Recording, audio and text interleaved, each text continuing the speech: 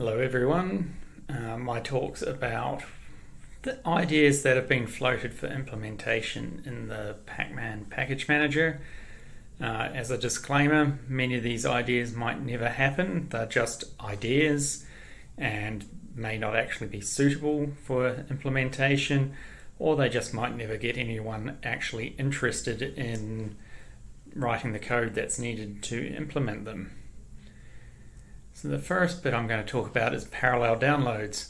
So this is already pretty much implemented, so will be a major feature for um, the upcoming 6.0 release, uh, which we hope to get out in the next few months, at least a beta release. So what this does is it downloads all the databases and the packages for updates in parallel.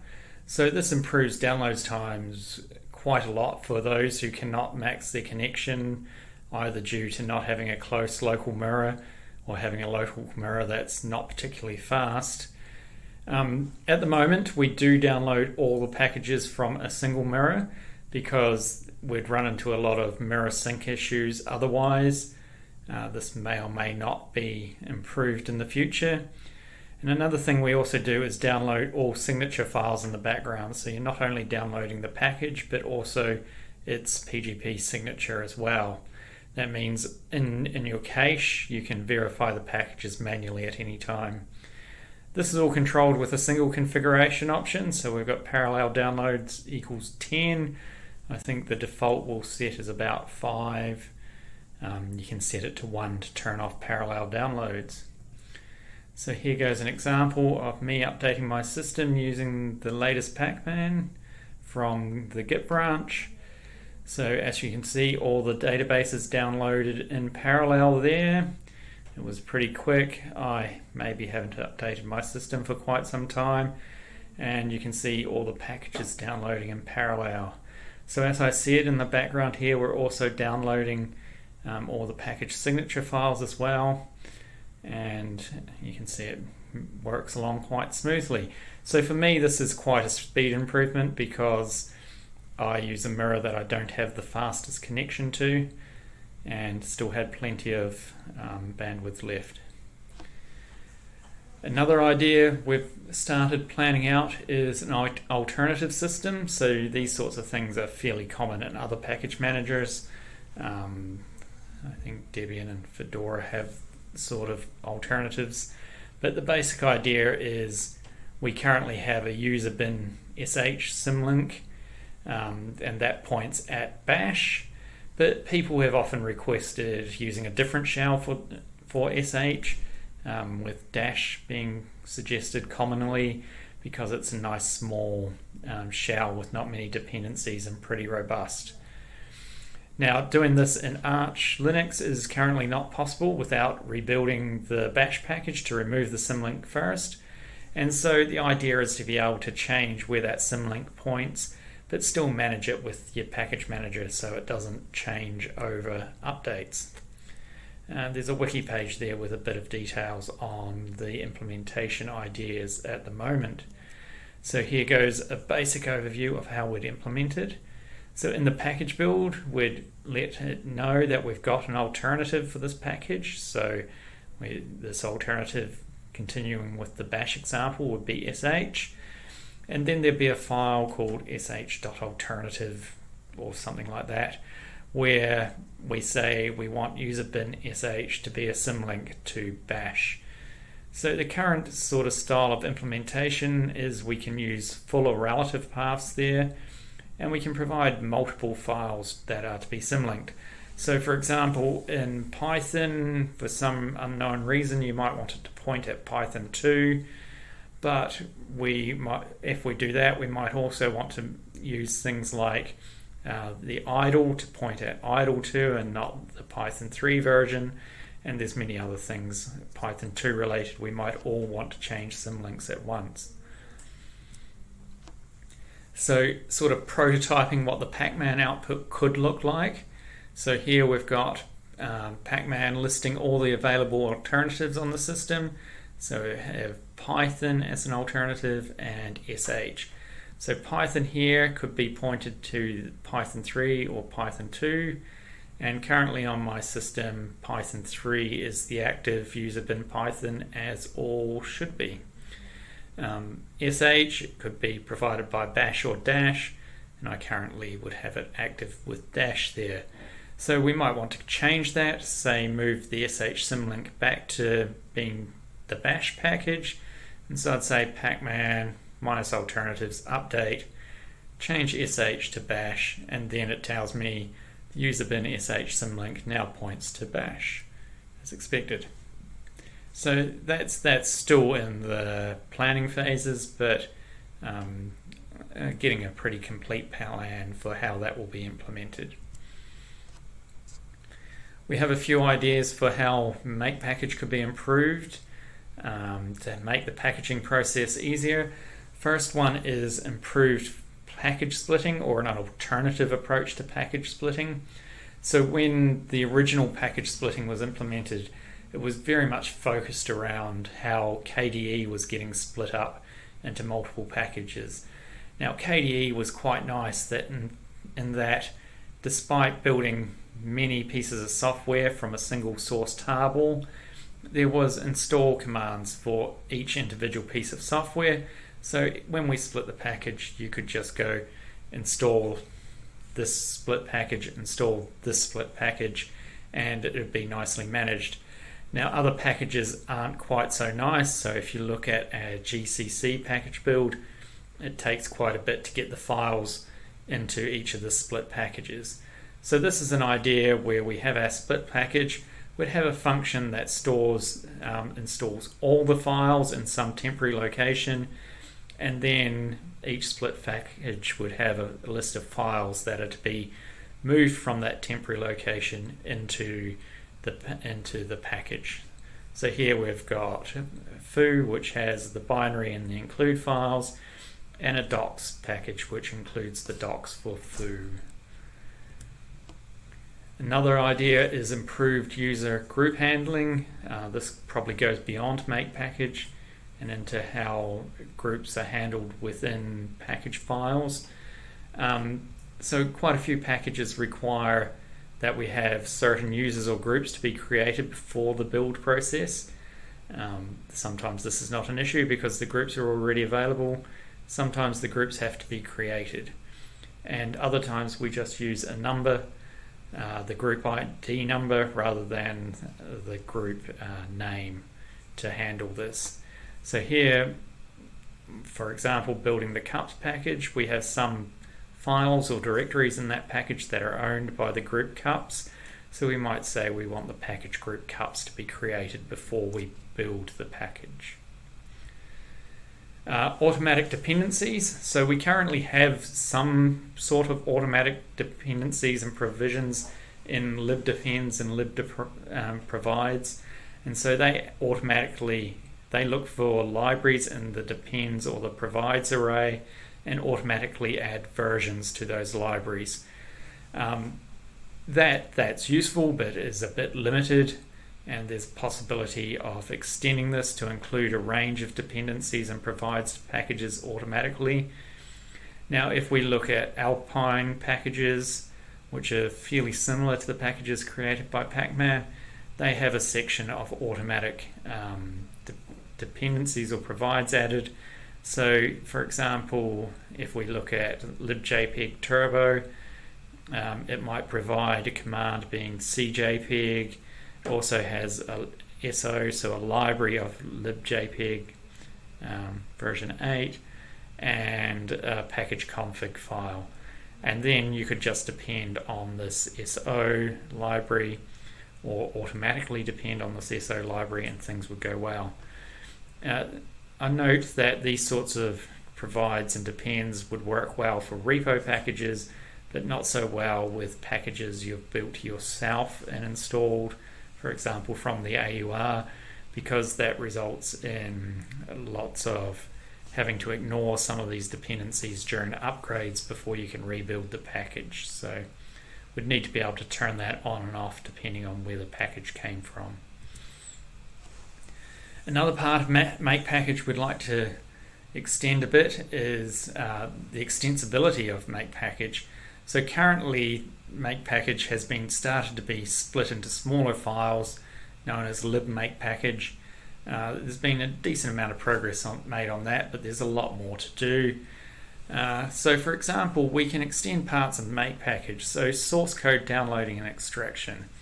It's very easy to add a new VCS system there. So we currently support Git, Mercurial, and SVN, I think. And if we wanted to add a new VCS system, it's a matter of dropping in a single file. Uh, we have things that manipulate package options, such as re- we remove libtool files by default.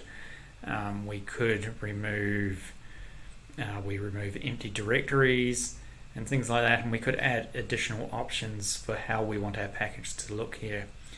And then we've got a bunch of linting checks for both the package build and the package, which just check things are looking like they should do. So for the package build, we check that things like arrays are arrays, that um, you have the right functions in the package build, and all the variables are defined. For the package, we can check that it doesn't have files where it shouldn't have files, etc. Doing things very similar to Namcap does. And in fact, uh, I've got a proof of principle called PackageLint, which is a drop in replacement for Namcap, but it goes into Make Package itself. So that has some advantages in that checks can be done in Make Package when we know where all the files are sitting and all the packaging variables, so it gives us a slight bit more power. Um, this PackageLint is a bit. Uh, early stages at the moment. It only replaces a handful of Namcap rules and probably won't go a hell of a lot further unless other people contribute. Uh, we've got ideas around improving the repository databases. So, as I mentioned with parallel downloads, that uh, the PGP signatures for all packages are now downloaded alongside the files. So, we could actually remove those from the database. Now, initially, when we added them to the database, everyone was using RSA 1024 keys, and you know, it didn't they didn't take up a lot of space for signatures. But as people's moved up to you know 4096 or whatever, um, more secure GPG hashes, um, the repo database has actually become overloaded with signature files uh, so that's that's one step we could take is removing those from repo databases, and then everybody's download to check for updates would be far smaller. Another thing we're looking at is adding a timestamp to repo databases. So this is very useful because we could say after two weeks this repo database is no longer valid. Uh, why is that useful? Is because there's an interesting attack on package managers that a mirror could hold back updates for a package that is has a big security vulnerability and ensure everyone using that mirror still um, has the out of date and vulnerable package. Now, if databases were assigned, uh, the only way to do that would be to actually hold the entire database back um, instead of just holding the one package.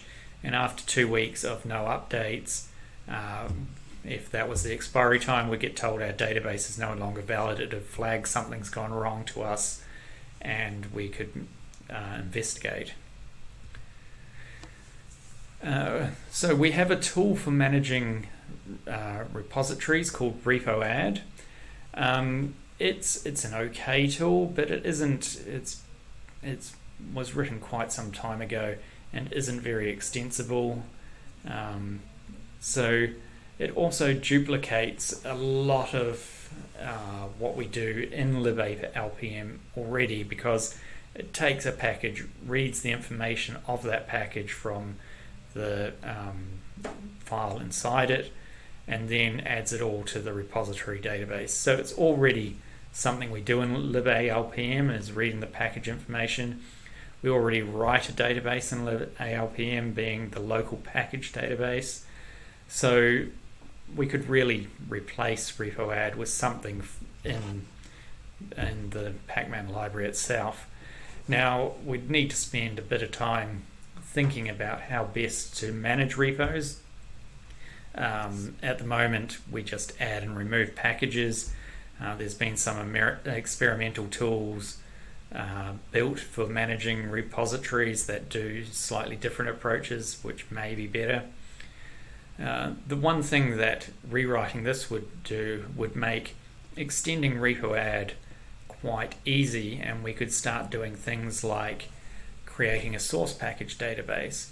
So at the moment, we can create source packages with make package, uh, make package source, and it would include the package build and any other local files needed to build the package. Now we could distribute those for people to download. It's essentially what things like the AUR do is get those tarballs, but they do it more in a Git way. But we could provide links to download these source packages in the repo database. Now, there's a lot of questions like do we want to include that in the main database or a separate database, sort of like we do for file listings, and other ones like are we just providing access to download the source package so someone could adjust it and, and build it as they wanted, or we're going to manage some sort of combined source binary update. That seems like quite a big project and probably not suited to Pacman itself. But there used to be a wrapper around Pacman that would do this, and it would also automatically modify package builds according to a patch file you had. So you could have it automatically remove a dependency you didn't want in there or apply a patch that you needed. Now we could also look at multi-threading support. So in Pacman there's some options that are very operations that are very very parallel. For example, um, checking signatures and checksums, we do one package at a time. Uh, even getting all file lists out of packages, um, installing packages is done one at a time, but that's a lot more difficult to parallelize. Uh, but we could split this over multiple cores for some speed improvement there. I think the initial patches for that have been floating around for a while, but it's never been polished off. Uh, improving opt depends. So currently we only use them for informational purposes, but when they were first proposed, there was a lot of suggestions that we could have options to install all optdepends automatically or query the user where they wanted to install each new optdepend rather than just displaying it. Um, things like that could get quite intrusive in the upgrade, so would need to be an opt-in sort of thing. But there's probably more we could do there to improve um, how we use optional dependencies. Universal transactions. So the idea is to be able to, in a single operation, install and remove packages. Now, this has been requested in the bug tracker since 2007, but no one's really done a lot of work on it. And I assume it would be very useful for graphical front ends because you've got your graphical front end, you click, I want to install these bunch of packages, I want to remove another bunch of packages, and click go um, at the moment, I assume they achieve this by first doing the installs and then doing the removes as needed. Um, but we don't have a lot of people uh, contributing that have worked on graphical front ends, so I don't know if this is a major issue. But this is something that I think we can definitely improve. So the question is, when will these features arrive? And the answer is, as I said, is when someone implements them, or maybe never. These are just ideas, they might not be the best ideas. Uh, some of the things I have discussed are, are well on their way, so parallel downloads are complete to some extent. I've got a bit of polishing to be done before release, but, but it's already going well at the moment. Um, alternatives and repo timestamps both have had uh, initial patches posted uh, but got a lot of work left to do then. And uh, we will be switching to using Arch's GitLab instance for um, development of Pacman when that's nice and ready to go. So I'm told this is going to re- result in an inundation of new contributors as it's going to be a lot easier to contribute. But as I always uh, tell people, taking one of these ideas and running with it's all good, but do make sure you talk to people before you do, because there's no point spending a lot of work on a feature that may never land into the Pacman codebase. And with that, I'll thank you and let me know if you've got any other ideas that would be interesting.